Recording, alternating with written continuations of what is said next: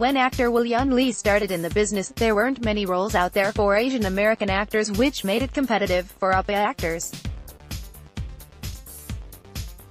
Fast forward to 2018 and the TV and film roles have been slowly, yet surely diversifying for actors of color, specifically for Asian Americans. Lee visited the New Hollywood podcast, his first podcast, by the way, to talk about how he got his start in Hollywood and how it paved the path to his current role on The Good Doctor. When Lee stopped by the podcast, it was before it was announced that he became a series regular on the wildly popular ABC medical drama. In addition, he stars in the Netflix sci-fi series Altered Carbon and has appeared in Hawaii 5-0 as well as True Blood.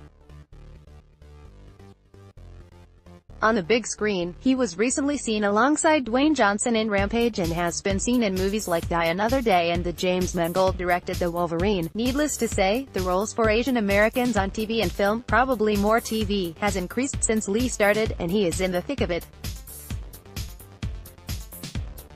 Listen to the episode below.